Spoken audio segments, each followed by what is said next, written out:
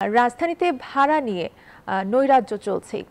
এ বিষয়ে জানাতে আমাদের সাথে রাজধানীর মহাকালী বাস টার্মিনাল থেকে যুক্ত হচ্ছেন সহকর্মী নাইমাল জিকো।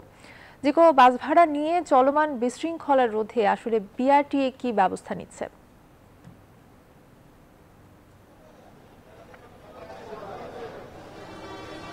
অর্থে এখন পর্যন্ত কিন্তু সকাল থেকে আমরা বেশ কিছু জায়গা এর মধ্যে ঘুরে দেখেছি। কিন্তু বিআরটি এর কোনো কর্মকাণ্ড এখন পর্যন্ত আমরা লক্ষ্য করিনি। এই মুহূর্তে আছে মহাখালী বাস টার্মিনালে। এখানে আসলে গতকালে যেমন চিত্র দেখেছিলাম আজকে কিন্তু ঠিক তেমনই চিত্র। নতুন মূল্য তালিকা কিন্তু একটি কাউন্টারেও টানানো নেই এবং ভাড়া যেটি নির্ধারণ করা হয়েছিল, যদি আমি এনা পরিবহনের কথা বলি, ঢাকা ময়মনসিংহের যে ভাড়া গতকালকে নেওয়া হচ্ছিল দুশো সত্তর টাকা, সেটি কিন্তু আজকে দশ টাকা কমিয়ে দুশো ষাট টাকা নেওয়া হচ্ছে।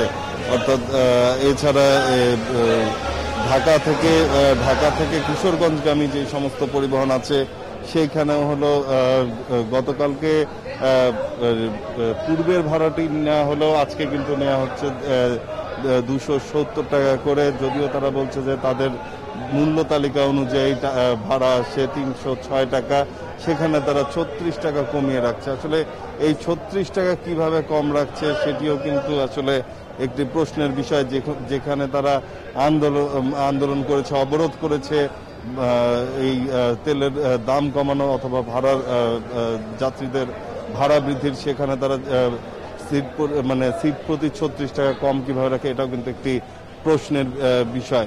এছাড়া এখানে যারা যাত্রী রয়েছেন, তার- তারা কিন্তু হলো এই যে বর্ধিত যে ভাড়াটি, সেটি নিয়ে কিন্তু অসন্তোষ প্রকাশ করেছেন। এবং যেহেতু হলো ভাড়ার অনেক বেশি বেড়ে গেছে, তিরিশ থেকে চল্লিশ টাকা করে বেড়ে গেছে, পঞ্চাশ টাকা করে বেড়েছে।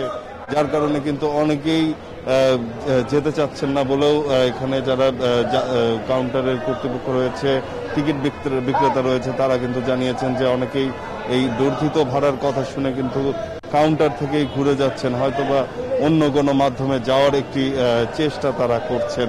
তো এখানে যাত্রীরা যারা রয়েছে তাদের মধ্যে একটি ক্ষোভ যেমন রয়েছে, কারণ অতিরিক্ত ভাড়া তাদের গুনতে হচ্ছে এবং এখন পর্যন্ত সরকারের যেহেতু নির্ধারিত কোনো ভাড়ার তালিকা এখানে টানানো নেই, সেই ক্ষেত্রে কিন্তু তারা একটি ঝামেলার মধ্যেই পড়ে গেছেন, সংশয়ের মধ্যে রয়েছেন যে আসলেই তাদের কাছ থেকে সঠিক মূল্যটা নেওয়া হচ্ছে কিনা, সেটি নিয়ে কিন্তু একটি সংশয় থেকে যাচ্ছে এবং এক এক জায়গা থেকে এক এক রকমের ভাড়া, এক এক দিন এক এক ধরনের ভাড়া এটিও কিন্তু একটি প্রশ্ন তৈরি করছে।